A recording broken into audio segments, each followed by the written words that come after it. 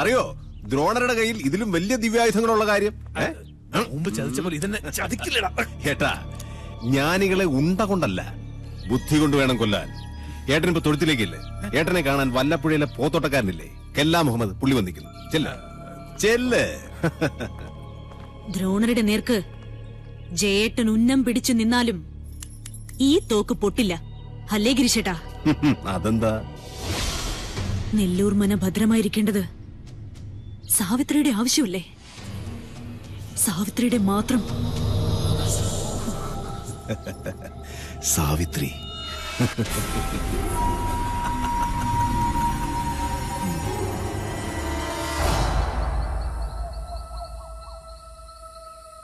ഞാൻ ജപിക്കുന്നത് അതേപോലെ ആവർത്തിക്കുക എല്ലാവരും. നേരത്തെ പറഞ്ഞു ഇനി മേലാൽ ആവർത്തിക്കരുതെന്ന് ഇപ്പൊ പറയുന്ന ആവർത്തിക്കണമെന്ന്. ഞാനിതിൽ ഏതാ വിശ്വസിക്കണ്ട? എന്റെ മണി. കുശവ ആചാര്യം പറഞ്ഞ അനുസരിച്ചാ മതി. ഓ.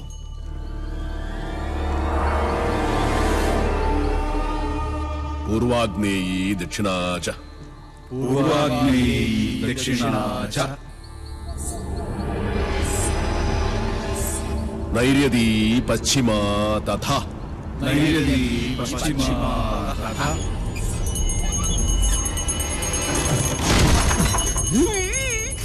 వాయవి చౌతరయి శాని వాయవి చౌతరయి శాని దిశ అష్టవిమా స్మృత దిశ అష్టవిమా స్మృత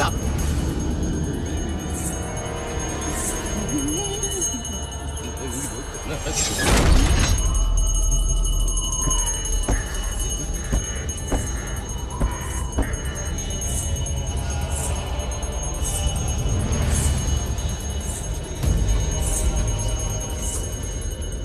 ആരും കണ്ണു തുറക്കരുത്.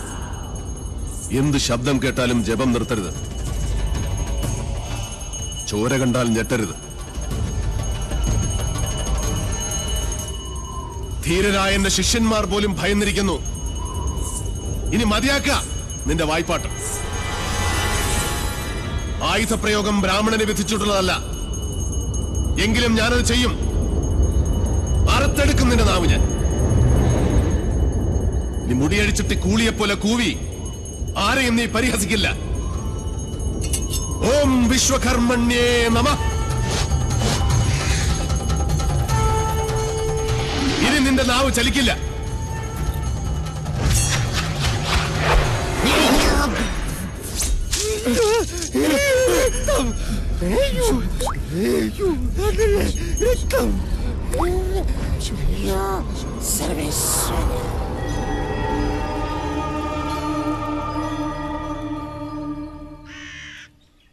ഇനി ഇവിടെ നിൽക്കാൻ പറ്റില്ല. രാത്രി ആയി കഴിഞ്ഞാൽ യക്ഷികളുടെ ഫാഷൻ ഷോ കണ്ടു കണ്ടും മടുത്തു. ദാഹിക്കുമ്പോ ഷാർജ ഷേക്ക് കുടിക്കുന്ന പോലെയല്ലേ രക്തം കുടിക്കുന്ന ചരക്കകത്ത് കൂടിയിരിക്കുന്നത്. ഓ ഇനി ഞാൻ ഇവിടെ നിന്നാൽ എന്റെ ജീവിതം വവ്വാൽ ചപ്പിയ മാങ്ങ! അവിടെ നിൽക്ക തിരിഞ്ഞു നോക്കില്ല ഞാൻ. ഇതുവരെ ചെയ്ത പണിയുടെ കൂലി ഈ ഓട്ട് കിണ്ടി കൊണ്ട് അഡ്ജസ്റ്റ് ചെയ്യാന്ന് വിചാരിച്ചു. മുതലായിട്ടല്ല. കൂലി തന്നില്ലെങ്കിൽ തച്ചന്റെ ശാപം നിങ്ങളുടെ തലയിരിക്കും എന്നാൽ വരട്ടെ. നീ പോവില്ല രൗത്തമ ഗുരുവിന്റെ സമ്മതമില്ലാതെ നീ മനയുടെ അതിർത്തി കടക്കില്ല. കടന്നാൽ നിന്റെ രണ്ട് കാലും തളർവാദം വന്ന് ശോഷിച്ച് ഈർക്കിൽ പോലാകും. ശിഷ്ടകാലം ഭൂമിയിൽ പാമ്പിനെ പോലെ ഇഴഞ്ഞു നടക്കുന്ന ഓർത്തു. നിൽക്കുക. അതിനോട് ആരാ പോന്നെ? അളയ നിൽക്ക. ഞാൻ എന്നെ കൊന്നിട്ട് പോവര് നോക്കുക. നിനക്ക് ഗുരു ഉണ്ട് പോകൂടാ എന്റെ മുത്തച്ഛൻ കോപ്പൻ. അയാൾ പണിത വീടാത്രേ. അന്നേ രണ്ട് ഉത്തരവും ഇതിന്ന് ഒരു തൂണും അടിച്ചു മാറ്റിയിരുന്നെങ്കിൽ ഞാൻ ഇങ്ങനെ കിടന്ന് ഈ യക്ഷിപ്പറമ്പ് തൂക്കേണ്ട വല്ല കാര്യം ഉണ്ടായിരുന്നു. ഇപ്പൊ ഈട്ടിക്കും തേക്കനൊക്കെ എന്താ വില?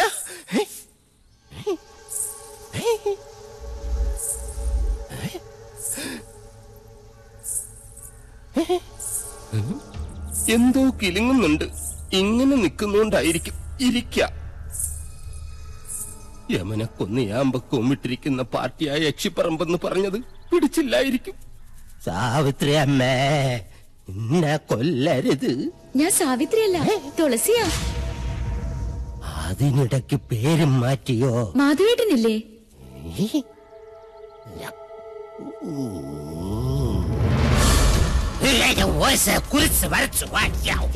അടുത്തു വരരുത്. അടുത്തു വന്നാൽ പേടിച്ച് മൂത്രം ഒഴിച്ചു കളയും ഞാൻ. മാധവേട്ടൻ എവിടെ? മാധവേട്ടൻ എവിടെ? മാധവേട്ടനോ? എന്നെ കൊണ്ടൊന്നും പറയിപ്പിക്കരുത്. തലയ്ക്ക് വെളിവില്ലാത്ത മൂന്നാൽ നമ്പൂരി ചെക്കന്മാരെ പിടിച്ച് അടുപ്പിന് ചുറ്റും ഇരുത്തിയിട്ട് സ്വാഹ സ്വാഹ എന്ന് പറഞ്ഞ് കുറച്ച് എണ്ണയും കോരി ഒഴിച്ചാൽ ഒരു യക്ഷിയും തളയ്ക്കാൻ പറ്റില്ല. യക്ഷിയെ തളയ്ക്കണമെങ്കിൽ ഏഷ്യാനെറ്റിലെ കടമറ്റത്ത് കത്തനാർ തന്നെ വരണം. അത്. നിനക്ക് എങ്ങനെ അറിയാം? ഞാൻ കത്തനാർ സീരിയലിൽ കണ്ടിട്ടുണ്ട്. അതിലാണെങ്കിൽ ഒരു കൊച്ചു കിണറ്റിൽ വീണ് ചത്തപ്പോ കത്തനാർ ഇങ്ങനെ വടിയെടുത്ത് ഇങ്ങനെ ഇങ്ങനെ കാണിച്ചേ ഉള്ളൂ. ആ കൊച്ചു ജീവനോടെ കയറി വന്നു. അത് ഏഴില്ലാതെ. നിർത്ത. തുളസി തുളസിയെ കൊണ്ടാക്കാൻ ആരും വന്നില്ല? വരിക.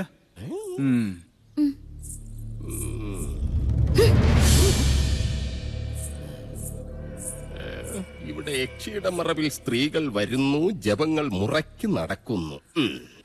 അങ്ങനെ ചിന്തിക്കാൻ പോലും പാടില്ല. എനിക്ക് കിടന്നാൽ ഉറക്കം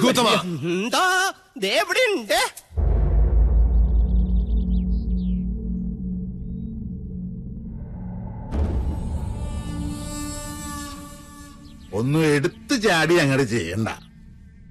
ക്ഷോഭിക്കേണ്ട നേരമല്ലിത്. നെല്ലൂർ മണ്ണ് ഉണ്ണി നമ്പൂരിക്ക് വേണ്ട ചെയ്യാ. ആ മോഹം മനസ്സിൽ അങ്ങോട്ട് മുറിക്ക. അച്ഛാ രാജീവൻ വല്ലാതെ അങ്ങ് മോഹിച്ചു പോയി. എന്റെ മോളെയോ ചെമ്പ്രയിലെ മണ്ണോ? അല്ലാതെ ഇപ്പോ ചെമ്പ്രയിലെ പെണ്ണും ചെമ്പ്രയിലെ മണ്ണും രാജീവിന് വേണം. അല്ല രാജീവ? ഗൗരി എവിടെ? ഗിരീഷൻ എവിടെ? ഞാൻ പറയുന്ന അവർക്ക് മനസ്സിലാവൂ. ഗിരീശ?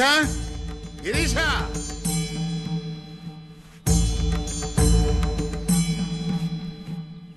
എടത്തി ഹായ്. ആരാ ഇത്? പട്ടാഴിയില്ലത്തെ ആത്തയമ്മയോ? ഇവിടെ നിന്റെ ഏതടത്തി ഇരിക്കണത്? പടിയിറങ്ങി പോയ മൂശട്ടെ. അച്ഛാ ജയേട്ടാ. ഇങ്ങോട്ടൊന്ന് വേഗം വരിക അനിയത്തി. ആഹാ. എന്താണ് നിനക്കിവിടെ കാര്യം? എടി എന്താണ് അച്ഛന്റെ ആംഗ്ലമാരുടെ ഒക്കെ മുഖത്ത് ചവിട്ടി തേച്ച് ഇറങ്ങിപ്പോളല്ലേ നീ? മറന്നിട്ടില്ലൊന്നും? നേർ നിറയും കെട്ടവളെ. ജയാ. ആരാ ദേ കണ്ടില്ലേ അച്ഛാ? ഇറക്കി ഇവിടെ ചെ പിഴച്ചവളെ. എന്താണാവോ വരവിന്റെ ഉദ്ദേശം? ഗുപ്തനും മക്കളും ചത്ത് നശിച്ചോന്ന് കണ്ടുറപ്പിക്കാനാ? അപ്പൊ ഉറപ്പാണ് അച്ഛന് എല്ലാം നശിക്കൂന്ന് അവന്റെ അച്ചിപ്പണി ചെയ്ത് നടക്കുന്ന നീ ഞങ്ങളെ ശപിക്കുന്നോടി. അച്ഛാ ഈശ്വരനെ കരുതി. എന്നെ കരുതിയിട്ടല്ല. അച്ഛന്റെ ഏട്ടന്മാരുടെ നന്മയ്ക്ക് വേണ്ടിട്ട് പറയാ മുഖപുര വേണ്ട. മാധവേട്ടനോട് ചണ്ടയ്ക്ക് നിൽക്കരുത്. എന്റെ ഒരു അപേക്ഷയാണ് കേട്ടില്ലേ? ഇവൾ പറഞ്ഞതിന്റെ പൊരുളച്ഛന് മനസ്സിലായില്ലേ? നമ്മുടെ ചോരയ്ക്ക് വേണ്ടി ഇവൾ ദാഹിക്കുന്നു ലക്ഷണം കൊള്ളാം. ആദ്യം യുദ്ധം ചെയ്യാൻ കടവ് കിടന്ന് വേളിക്കാരൻ വരുന്നു. പിന്നാലെ സമാധാന ദൂതുമായി സഹധർമ്മിണിയെ പറഞ്ഞയക്കുന്നു. എന്താ? ഇതിന്റെയൊക്കെ അർത്ഥം? മക്കളെ പട്ടാഴിക്ക് ഭയം ബാധിച്ചിരിക്കണോ? മാടങ്ങിക്കോളാ. ഇല്ലെങ്കിൽ നിന്റെ ശവം കൊണ്ട് അവന്റെ മുഖത്തേക്ക് വലിച്ചെറിയും. അച്ഛൻ പറഞ്ഞ കേട്ടില്ലേ? ഇറങ്ങി പൊടി മൂതേവി. കംസ ജന്മം എത്ര അനുഭവിച്ചിട്ടും മതിയായിട്ടില്ല അല്ലേ? അതേടി ഞാൻ കംസൻ തന്നെ ഈ അടിവയറ്റിൽ ഒരു വളരുന്നുണ്ടെങ്കിലേ വലുതാമ ഇങ്ങോട്ട് പറഞ്ഞു വിടെ. ഈ ജയൻ ഇവിടെ തന്നെ ഉണ്ടാവും. ബാക്കി അവനോട്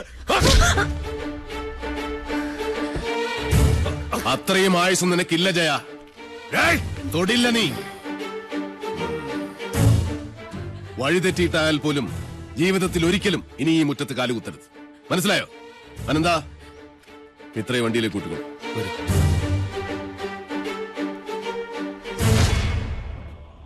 ഏതൊരു പെണ്ണിനും സ്വന്തം വീട്ടുമുറ്റത്ത് വന്ന് നിൽക്കുമ്പോ ഒരു വിശ്വാസമുണ്ട്. എത്ര വെറുത്താലും അവമാരെ ചാട്ടിയിറക്കി വിടില്ല നിങ്ങളത് തകർത്തു.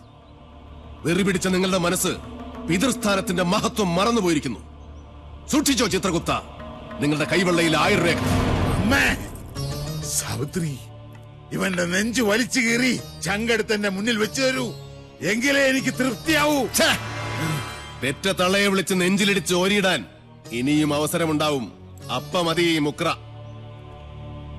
ഓ ഇതാണല്ലേ ആ മാതാമഹ കാരണം അവരുടെ വാടക കൊലയാളി